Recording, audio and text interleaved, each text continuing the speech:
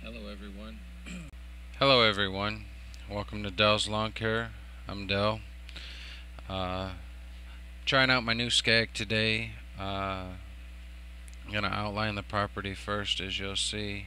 Uh, gonna cut it at uh, three and a quarter inches today. Um, this would be uh, one of my neighbors. He's a customer. Got pretty thick grass. His natural way uh, fertilizes his lawn. He waters it uh, about every other day or so. Move that hose out of my way. Let's go today. Um,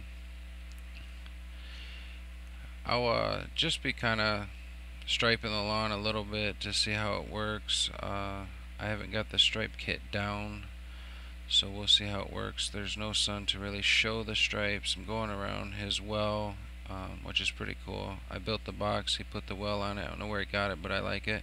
Put a water pump in it, and it shoots water. Um, kind of better than just looking at the well sitting in the front yard. I'm going to go back and forth today. Next week, uh, we'll do diagonals um, when I've used the mower a few more times, uh, more than once or twice, and uh, kind of get the idea of uh, how to go back and forth. Everybody knows how to use a zero turn. If not, I'll be doing a video on that for those that want to uh, go back and forth doing a three point turn um, I don't really do three point turns. I kind of go forward and back so my wheels never stay. The Scag uh, has uh, the CC pumps and not like the GT 3400s. I have a mower that has GT 3100s. Uh, so I kind of don't do the three point turn. Um, getting used to going from GT pumps to CC pumps is a huge difference.